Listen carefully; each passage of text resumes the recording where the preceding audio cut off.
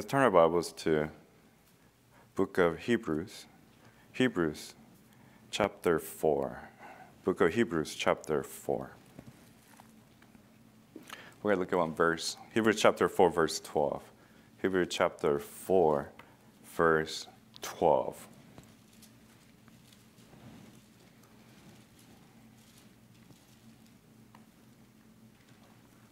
Title of today's message is What are you doing with the living Word of God? What are you doing with the living Word of God? Hebrews chapter 4, verse 12. The Bible says, For the Word of God is quick and powerful and sharper than any two edged sword, piercing even to the dividing asunder of soul and spirit, and of the joints and marrow, and is a discerner of the thoughts and intents of the heart. Brother Calvin, can you please pray for the message? Heavenly Father, in Jesus' name, we thank you, we praise you. Once again, Lord, we're happy that we can be here, Lord. Lord, you're a great God, Lord, and we can't thank you enough, Lord. Um, the Bible says that, Lord, you, you are love. God is love. And you love us with an everlasting love, Lord. Lord, we just can't believe that you're willing to come in flesh and die for our sins on the cross. Thank you. Something that you created, you could have wiped us clean and start with a new, new human race, Lord. And uh, you chose not to do that. But Lord, in the very beginning, when Adam sinned, you've already decided, and you, you're going to come and die for our sins on the cross. And for that, Lord, we thank you and we praise you, Lord. You are worthy of our praises, Lord. And Lord, we just wanted to pray for um, Senior Mrs. Schreiber, Lord, that you continue to watch over her health, Lord. We want to pray for Pastor Kim's uh, throat's recovery, Lord. Amen. Sister Helen, Lord. Lord, we thank you for all the people, brother and sister, that's involved in the ministry, Lord. I just cannot be more grateful, more grateful to them. Without them, Lord, we wouldn't have this church, Lord. We thank you for this church. We thank you for your words, the King James Bible. And Lord, we can't wait to hear the Pastor uh, Jae to teach us on the Word. And please fill Pastor Jae with the Holy Spirit. Amen. Help us to understand your Word. Fill us with your Holy Spirit. Be with us, well, uh, and um, bless the fellowship that follows. In Jesus' name we pray. Amen. Amen. Amen. So, what are you doing with the living Word of God? First of all, do you believe in the perfect Word of God? We have King James Bible, KJV 1611. We believe without any doubt it's the perfect Word of God, preserved Word of God. Word of God is something that you should treat as the most special thing in your life. And many times it's been neglected in household everywhere. Without saying, you hear all these you know, examples, all these stories where you know, there's dust on top of the book. And then you, when the Sunday comes, you dust it off. Why? Because people don't really consider the Word of God as a living Word. People don't consider the Word of God as a words that gave you life. You know, when Bible says in Hebrews 4:12, sharper than any two-edged sword, piercing even to the dividing asunder of soul and spirit, and the joints and marrow. You do know that because of the Word of God, you're born again. Without the Word of God, you can't be born again. Why? Because Bible says so. Turn your Bibles to 1 Peter, 1 Peter chapter 1. Not too far away. 1 Peter chapter 1. So imagine if you don't have the perfect Word of God and you have a corrupt Bible, what do you think is going to happen? There's a less likelihood that you'll be grounded in a sound doctrine, and there's chance, very good chance that you don't know the right or salvation plan, the gospel, and what's going to happen. You're gonna start questioning, and you don't have assurance of salvation. If you're that person who's always wondering about, am I saved or not? You know, am I really going to heaven? First, check, check what kind of Bible you're using. 1 Peter chapter 1, verse 23. The Bible says, being born again, not of corruptible seed, but of incorruptible, by the word of God, which liveth and abideth forever. What did the Bible say? Word of God, which liveth and abideth forever. So it's a living word. Yes. So, you know, you can't treat it like something that's, you know, just dead and inanimate. Why? Because it's God inspired word. Then, would you treat something that's so dear to you because through the word of God, your faith grows. Because Romans 10 17 says what? So then faith cometh by hearing, and hearing by the word of God. How do you treat the word of God? What are you doing with the word of God? It's a question that you and I have to ask on a daily basis because if you're not careful, if I'm not careful, we'll just forget about it. It will be just another book sitting somewhere, whether it's in your car, whether it's in your home somewhere, at your office and you just neglect it. To me, the most neglected thing or person is not your wife, it's not your child, it's not your grandma, grandpa, it's not your coworkers, it's not whoever it is, it's the Word of God. So many people neglect the Word of God because you spend and you interact with your family or your loved ones, you know, your, with your coworkers. But however, I mean, how often do you spend more time in the Word of God, preaching the Word of God, studying the Word of God, sharing the Word of God with you and others more than any other activity in your life? Yeah, I mean, I understand. You know, you and I live in a busy life. You go to school, you go to work, you do many different things. However, those things should not deter you and stop you from having time spent with the Word of God. If it's living Word of God, you gotta treat it as is. If you have a pet, if you have a cat, if you have a dog, are you gonna just leave it and then don't care for it until Sunday or until Wednesday? No. You give him food, you have a regular interaction with your pets. I mean, your children too. I mean, I hope, you know, at home you have interaction with your children every day, right? Not just Sundays or Wednesdays or just selected days. It should be a daily thing. Then, if you believe in the perfect word of God, if you believe that Bible is a living word, then you should have interaction with the Bible every single day. You know, why is it that everything else takes priority over the Word of God when it is something that gave you eternal life. Why? Because you're born again through the Word of God. Without the Word of God, where would, where would you and I be? Right? Where? Without the perfect Word of God, where would you and I be? I'll be still sitting in a secular church, contemporary church out there, not growing at all, you know, just wasting my time, effort, life away. I don't know if I would have been saved because they never taught me, you know, right doctrine when it comes to salvation. That's why, you know, I was wondering, okay, today I didn't have a good day. You know, I sin more than the other day. So am I going to go to heaven if I don't confess my sins or if I don't repent? Why? Because those teachers and false preachers, false pastors, they don't know the right doctrine. They have the wrong Bible in the first place. They don't consider it as a living word of God.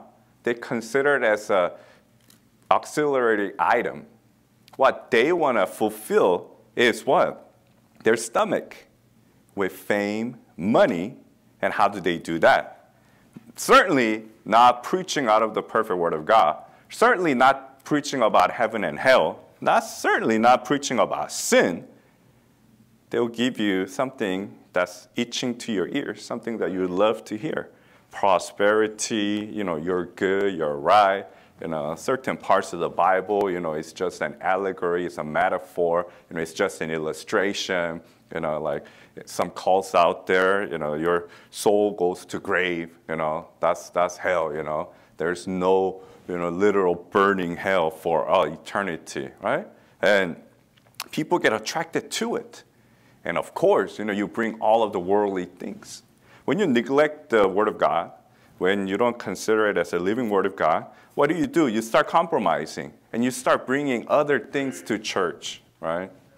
I mean, I'm sure every one of you who's here and who's listening have gone to different places, different churches, right? Or have seen it on TV. Common thing is that how separated were those churches that you went to? I mean, were they conform to the world in any way? They're like, okay, King James Bible is too hard to understand. Thee and thou, you know, you. I mean, that's, that's such a good grammar, right? You know, thee, thou, one, you, plural. I, I don't know how hard that is. Like, you know, one plus one, two, right? So if I say thee and thou, you know, one, you, you know, plural. And they think, you know, it's uh, such a hard language to master. You know, they actually did a study, you know, the grade level of, you know, NIV, King James Bible, and other Bibles, right? I mean, those NIV, they're like a scholar level, right? It's a high reading level.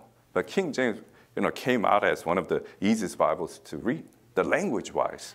I mean, so it tells you that something's right about King James Bible and something's wrong with the other Bible. And you can't think of it as like the best translation. Right. I mean, you think God, Almighty God, will not preserve His perfect word?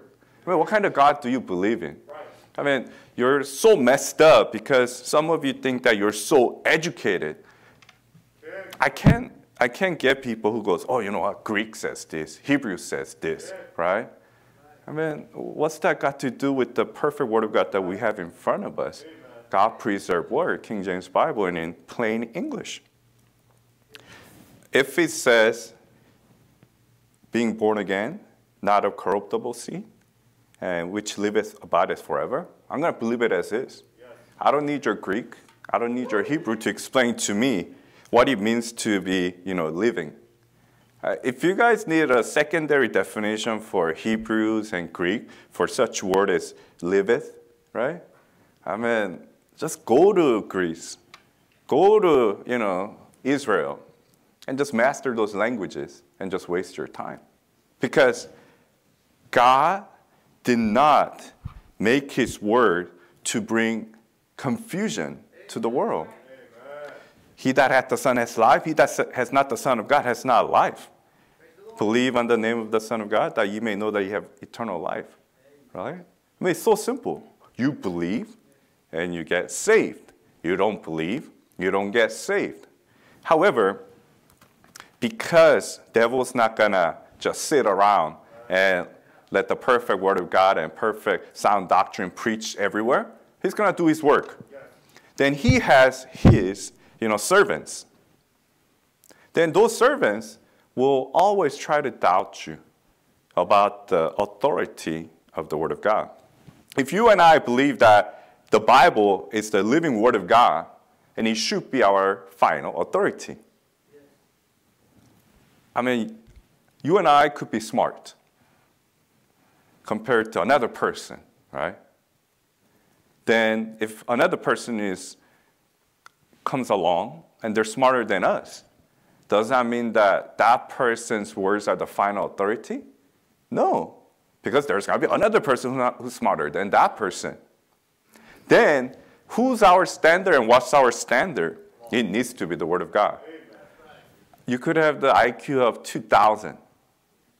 You could calculate every single formula in the world.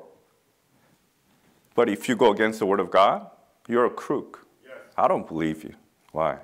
Because Bible written by people by inspiration of God. So Holy Spirit is the author. You're telling me that you're smarter than Holy Ghost? You know, you're smarter than, you know, God Himself? But amazingly, so many people think like that. Amazingly, when you get proud, you get haughty, and you get some education in your brain, you start thinking, hmm, Bible says this, you know, I mean, 1 Peter 1.16 says, because it is written, be holy for I am holy. You know? What does that holy really mean? You know, is that only in certain situations? Is it only in every situation? Man, let me go. What does Greek say? You know, what does the Hebrew say? You know, or you know what? Let me let me check in. You know, different language altogether. You know, Hebrew and Greek is not enough for me. You know, I'm gonna go to you know some variety of languages and see what it means. And people become crazy. I mean, verse 19 says, "But with the precious blood of Christ." You know, I mean, that's a very important matter in salvation, you know, because the Lord Jesus Christ shed His precious blood. You know, through that blood, you and I, our sins are washed away once and for all. However, if you don't believe as is, then you start thinking, you know, like calls out there, you know what? I think I need to drink his blood you know, every Sunday. And I need to eat his body every Sunday.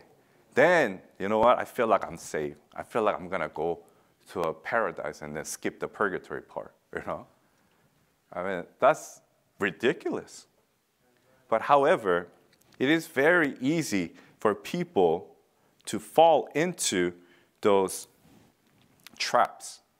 Why? Because a lot of times when you don't put the Word of God as your final authority, something else to replace it. And that something else can really, really mess you up. Why do you think that the smart, so-called smart people, you know, very well educated, you know, have a high ranking in the society for their hard work, follow someone like Jim Jones, follow some cult leaders, and then commit suicide, and or, you know, just sell everything, you know, like Harold Camping, and thinking that Lord's coming back a certain day, you know, like November 23rd or something, and then you sell everything, you just wait for him to come back and be looking like a fool. Why? Because when you don't have the Word of God as your perf- I mean, final authority, anything could happen. I mean, you and I could believe in anything. You could believe in anything. You know, I could tell you that, man, I'm from Mars. And I could show you some proof why I'm from Mars, right? I have certain scars that only Martians could have, right? And then, you know, I, and then I, I speak eloquently and, you know, I, I, you know, just lie to you about certain things, you know. Certain things that you never think about, so you never thought about it, and then it's just a possibility. And suddenly you feel good about, you know, what I'm telling you hey man, you know, someone from Mars is teaching me something and I'm gonna go to, you know, this paradise because of that person.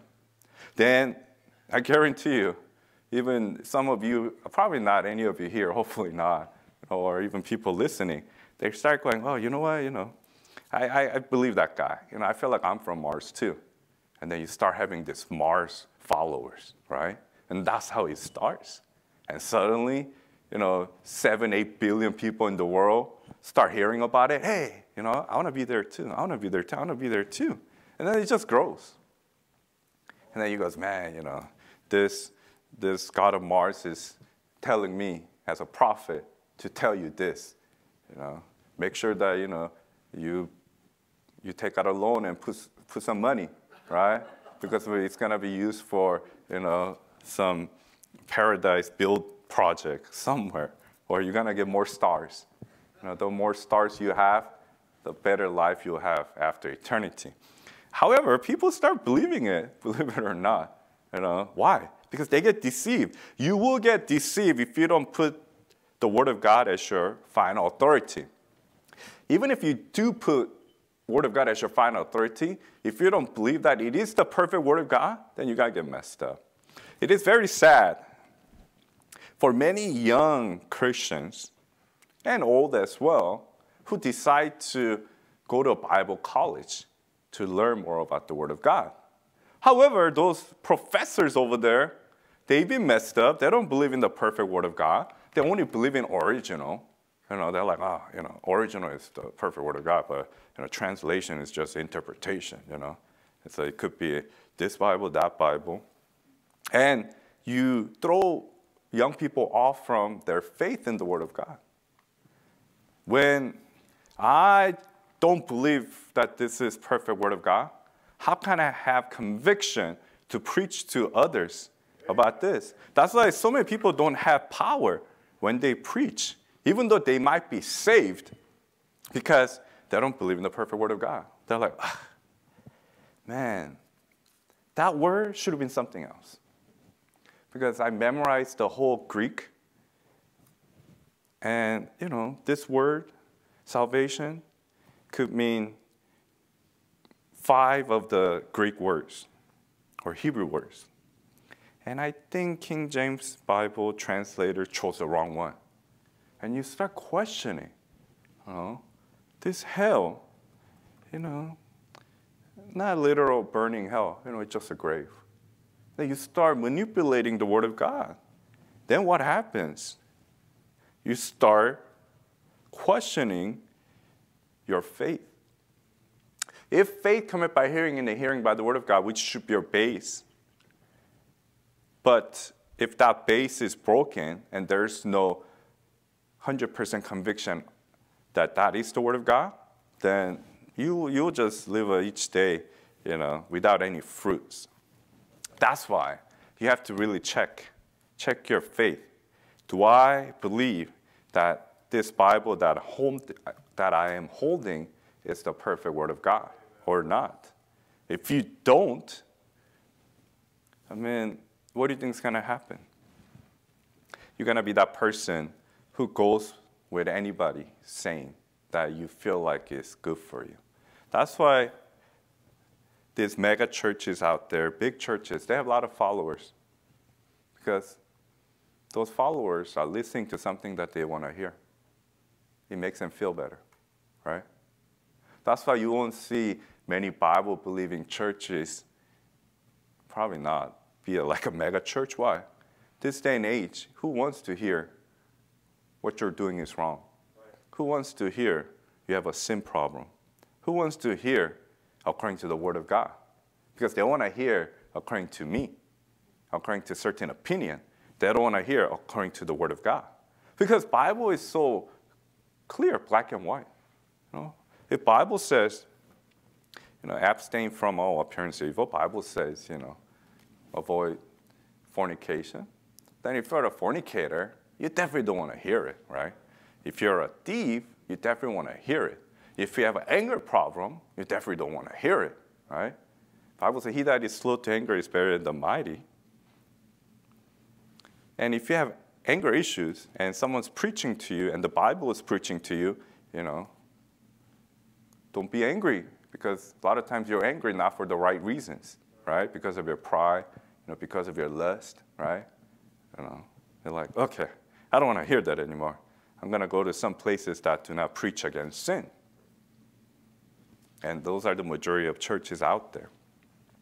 If you are uncomfortable listening to preaching like this, where you're being pricked in the heart by the Holy Ghost, saying that, man, you better get right. Why? Because all this time, you did not put the Word of God as your final authority. You put yourself as final authority or someone else final authority. That's why your life is messed up. So God is giving you an opportunity to get right, get your life straight. Then if you don't do it, then you know, you're just going to live a miserable Christian life until you die or until the Lord comes back. And you could argue with me all day, and you could argue with someone else all day, you know, but you should argue with the Word of God. You should read more Word of God. And that's why a lot of people during Jesus Christ's days were just questioning and questioning and questioning. I mean, they see the miracles that he was performing they see, you know, something was different about him. They see that he was claiming himself to be God, right? And it's coming to be true. Prophecies were coming to be true. Even then, they're seeing eye to eye, but they don't believe him. I mean, that's how wicked human beings are. You see the proof right in front of you, but you don't believe it. And you think you're better than those people during those days who actually saw Jesus Christ do all those things when you have the proof right in front of you?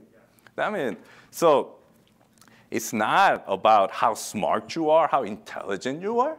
It's about how much you're willing to really put the Word of God as your final authority and believe that this is the perfect Word of God.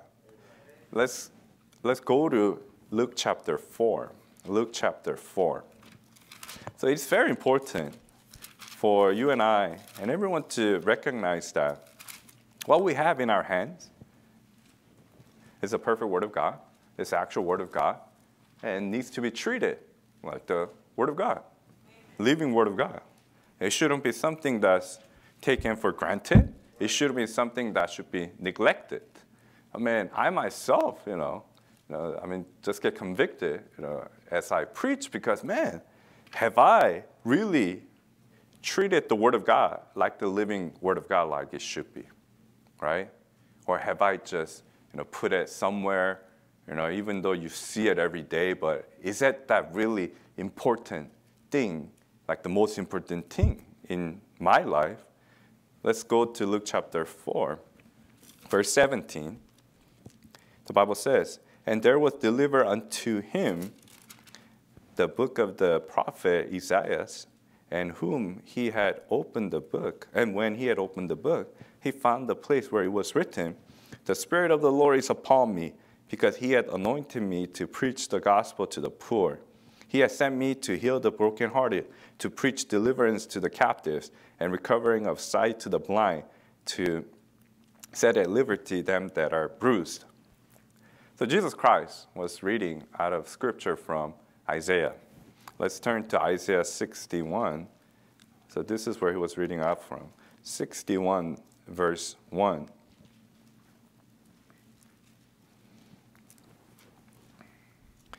Isaiah 61, verse 1, the Bible says, The Spirit of the Lord is upon me, because the Lord has anointed me to preach good tidings unto the meek.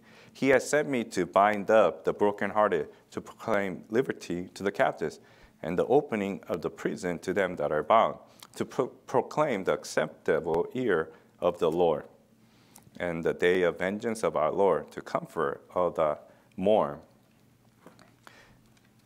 When Jesus Christ was reading, was he reading out of the original? He wasn't, right?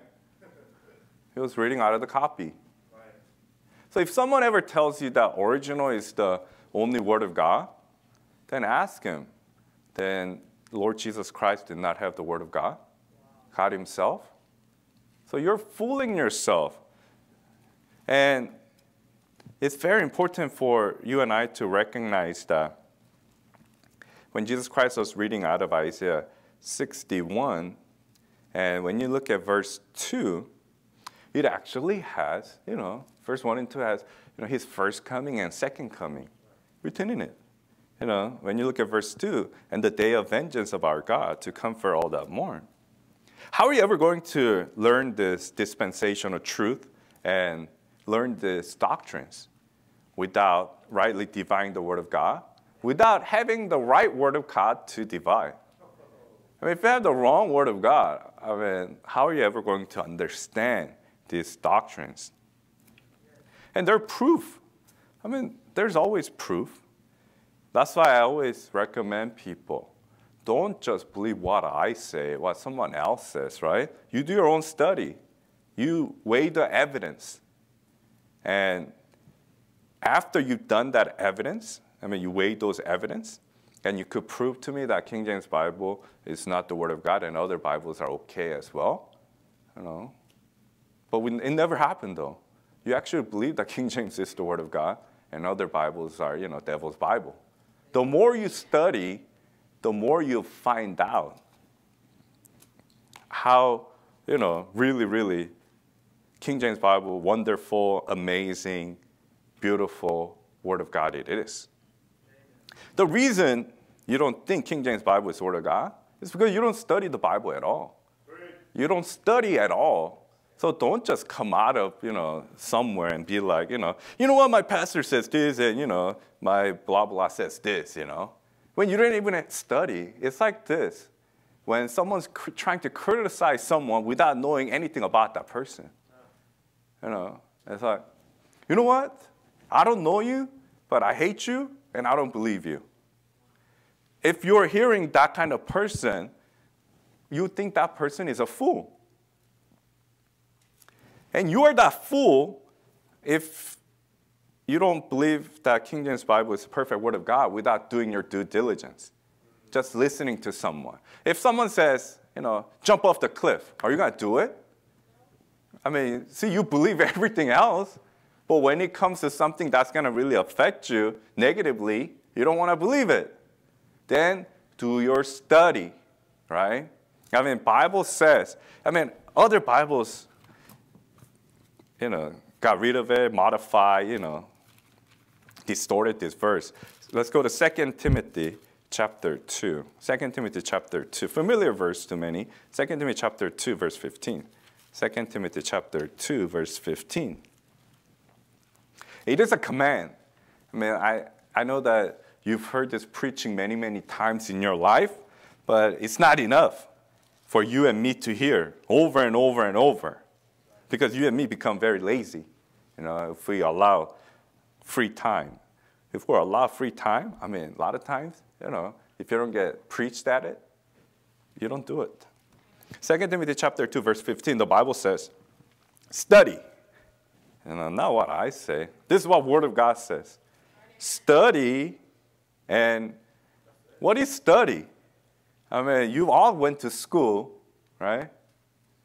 So when you have to study, you have to put your time in it. You have to read it. You have to memorize it. You know, you have to try to understand. Study to show thyself approved unto God. Don't you want to be approved by God? Then what's one of the conditions? You have to study. You're like, you know what? I want God to call me a faithful servant. You know, I want God to be happy. I want God to approve me. Then study. Amen. I mean, it's a plain, uh, how, how plain can it be? But other Bibles change it. They're like, do your best. Right. What's the difference between study and do your best? Do your best, you, you could put your own definition into it. Ah, you know, my definition of doing best is putting two minutes. My definition of doing best is maybe once a week, right? Because maybe some, maybe your spouse says, "Honey, do your best to cook this week." I'm like, "Okay, I'm gonna cook one day." That's me doing best, and I could explain it very well. But if there's a command, right? Cook every day. Then if I don't do it every day, then what's going to happen? That means that I haven't done it. I disobey. That's why when Bible says study to show that approve unto God, it's a very important command. It's a very important verse. Why Bible says a workman that needed not to be ashamed, rightly dividing the word of truth. When you have the right word of God, you could divide it right. Because God deals with different people in different times differently. That's why you and I have different salvation plan than people who lived during the Old Testament days. You and I have different salvation you know, plan than people who be living in times of tribulation.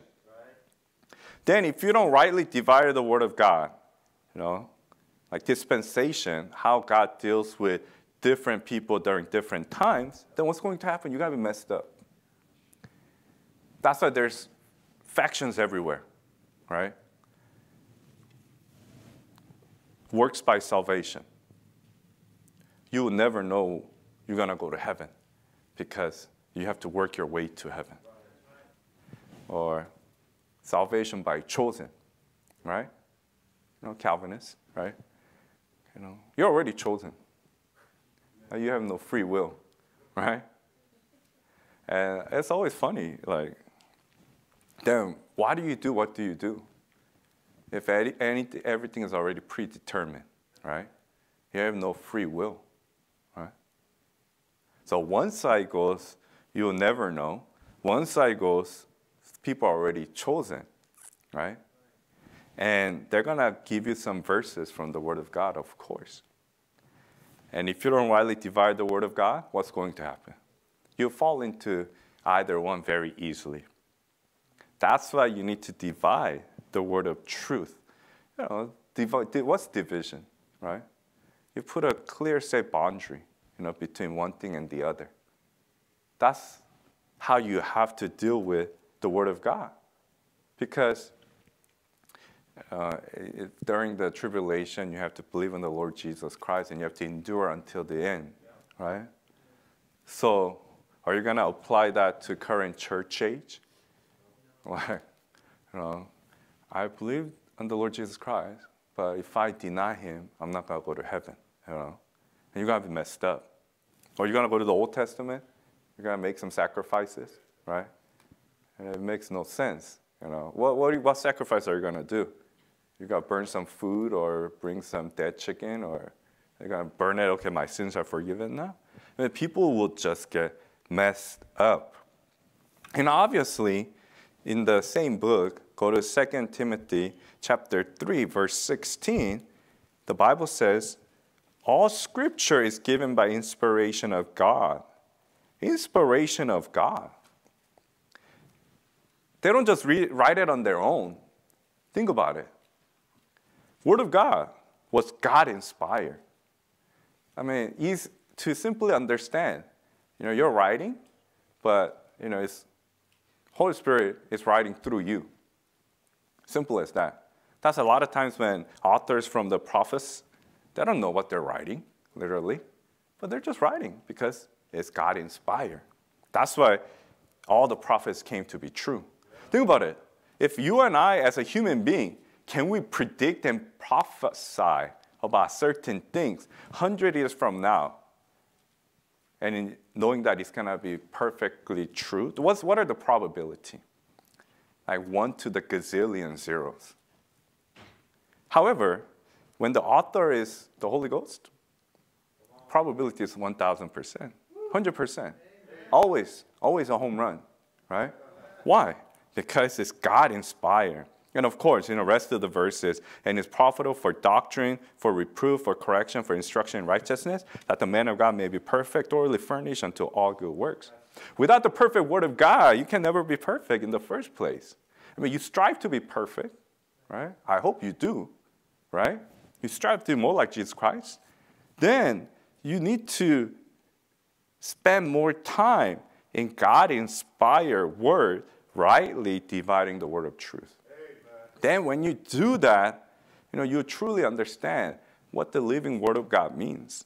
Let's turn our Bibles to the book of Psalms 138. Psalms 138. How important is the word of God to God? I mean, not to me or not to you. How important is the word of God to God Himself? Psalms 138. Psalms 138. We'll start with verse 1. The Bible says, I will praise thee with my whole heart before the gods will I sing praise unto thee. Verse 2 I will worship toward thy holy temple and praise thy name for thy loving kindness and for thy truth. Look at here. For thou hast magnified thy word above all thy name. Think about it. Because word of God endureth forever. I mean, this, what you have, is a living word I mean, it's so precious, incorruptible. Your faith will be determined based on what you do with this living word. Then I could tell you, and I could tell myself where my level of faith is high, medium, low, at the gutter, right? I just have to see and remember and trying to figure out how much time have I spent in the Word of God? Today, past week, or past month? If you have, you know, at least tried and spent, you know, a few hours in the Word of God, hey, you're better than majority of the people where they're at. Because majority of the Christians in America spend zero hours in the Word of God during the week. Think about it, zero hours. Only time they open the Word of God is when they come to church, if they come to church. And because a lot of times people become so lazy, these churches just have a projectors and just have the Word of God out there. I mean, I, personally, I want to flip the pages, you know. I want to flip and I want to find out where it is.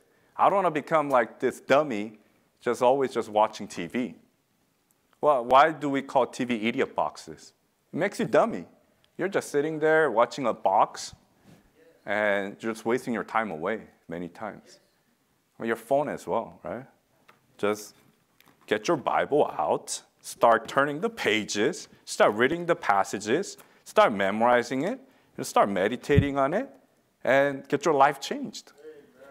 Your, your life, you know, you always complain to your friends, you know, for somebody, man, I don't know why my life is like this. It's not going that well, you know. Hey, you know, there are tests and trials, of course, right? God will test his child whom he loveth. So you might be in that stage, you know, don't get me wrong.